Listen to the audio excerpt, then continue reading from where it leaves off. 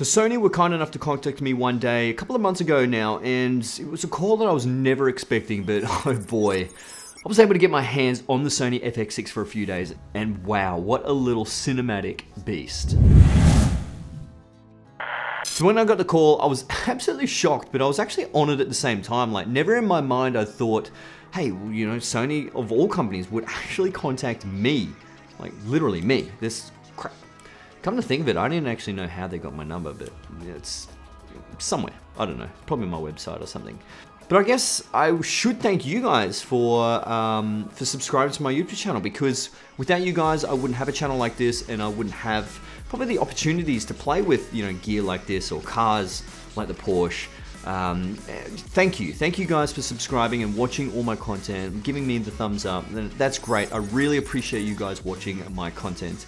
Uh, but anyway, having the Sony FX6 for only a few days, I decided to organize a car shoot and, you know, put this through, I guess like a, a professional film set or, a, you know, commercials is a really good way to sort of show how the camera performs professionally in like a very high stress environment. And I was able to organize a commercial shoot with a Porsche Boxster 718. Now that is an incredible car. I had it for a few days. Man, that thing was it's quick. I mean, it's not as quick as a Tesla. Don't get me wrong, but uh, it's just fantastic. It's got such good class and character compared to the the Tesla. You know, it's it was really good.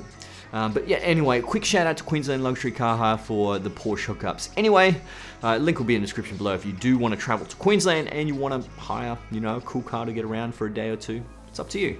But I would like to mention, you know, this is not a full-on review, obviously, because I only had the camera for a couple of days. This is only just like a first impressions of the camera. Um, because I didn't get enough time to sort of dig real deep into the menu system and, you know, how this thing performs long term. Now, I've had actually a large experience with the Sony FS5, which is, um, this is technically a replacement for the FS5. So I do feel like I have a really good head start in knowing pretty much the basics of this camera. And all honesty, the FX6 performed very, very well. Now let's talk business about the camera. So the Sony FX6 replaces the old FS5 series and sports a newer full frame sensor compared to the FS5 Super 35 sensor. Immediately, you know this is going to be better in low light performance.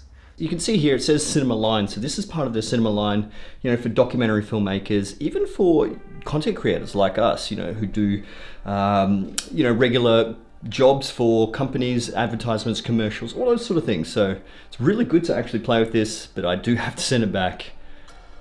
Sad times. Now, let's talk about some of the notable features that, you know, was different to the FS5.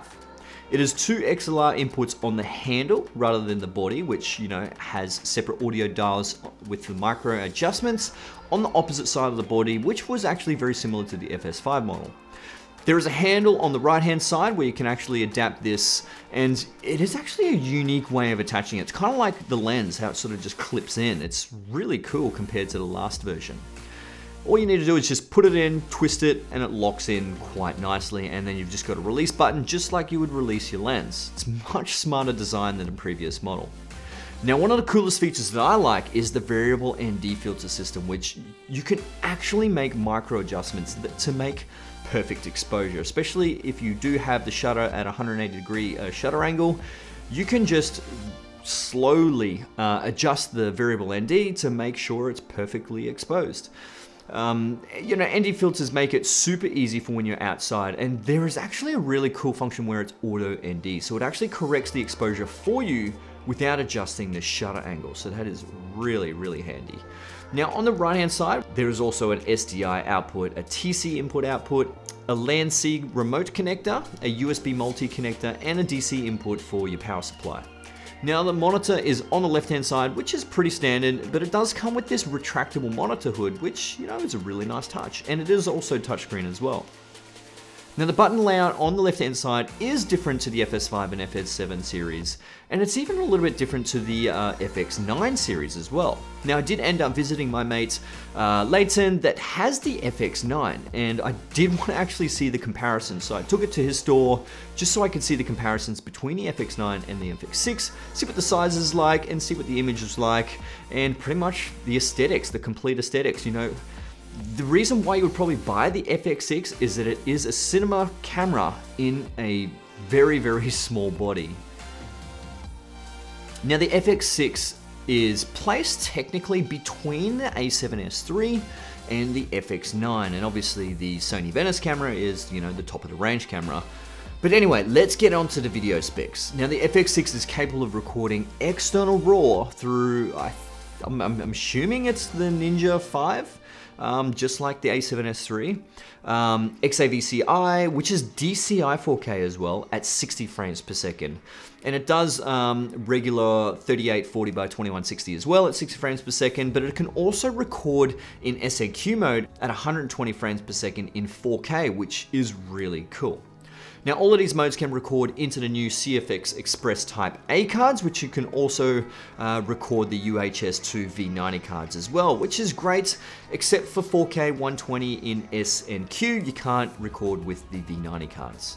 Now mind you, the CF Express cards are much better data write speeds and transfer speeds too, but they are a little bit more expensive. I only just recently got one from what the A7S III because UHS 2 card that I was using, the Lexar one, the V90, it was just too slow. It kept corrupting. Uh, it's I do not recommend the Lexar ones. I don't know, I'm just having a lot of issues with that particular card and it's really ruining my workflow, which is why I got the CFexpress Type A card.